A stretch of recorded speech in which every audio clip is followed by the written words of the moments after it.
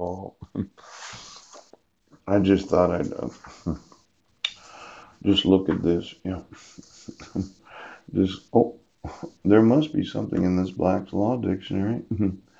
now, but this uh, Williams Act of 1968, yes. 1968 federal statute that had amended the Securities Exchange Act of 1934 mm-hmm. By requiring investors who own more than 5% of the company's stock to furnish certain information to the SEC to comply with certain requirements.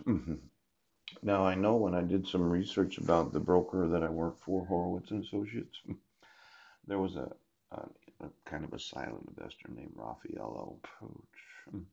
Could you go through the actual ownership? Yes, mm-hmm. of all those companies that um, have 5% or 10% owned by somebody that nobody talks about? Now, I know that um, when I left Horowitz and Associates, we did not leave on good terms. And I thought that Horowitz had something to say about that whole um, arbitration that I went through. Yes. Mm-hmm.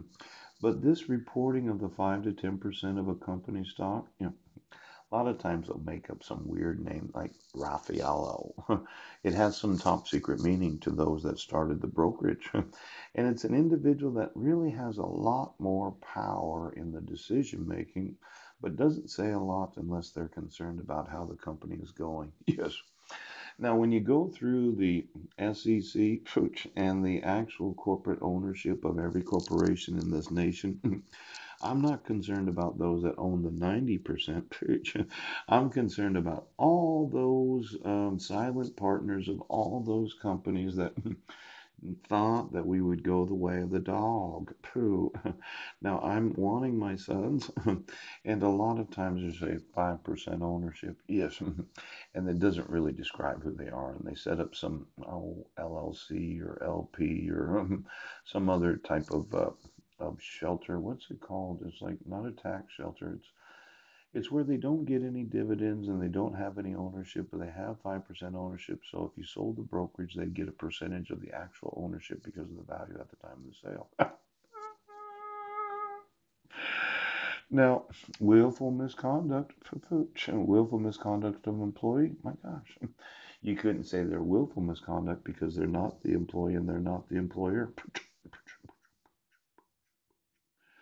They're the silent partners that make all the decisions, and whenever there's a big question, they realize their 5% ownership gives them a little right to say something. Now, when you go through the actual brokerage ownership of this great nation, just look through the 5 to 10% ownership and see why they're compensated because they really do have something to say. And a lot of them don't get that annual income. a lot of them are waiting for that time when, oh, Oh, look at this, winding up the process of settling accounts and liquidating assets in anticipation of a partnership's or a corporation's dissolution. They're waiting for things to wind up so they can get all their money back from having invested in that company for the last 50 years. I'd like to know the identity of all those silent partners that own 5 to 10% of any corporation.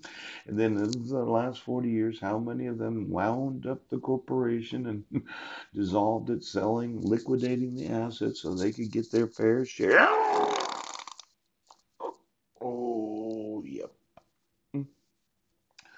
I think somebody's violating the Williams Act. Ooch. Um, you're not. Ooh. Ah.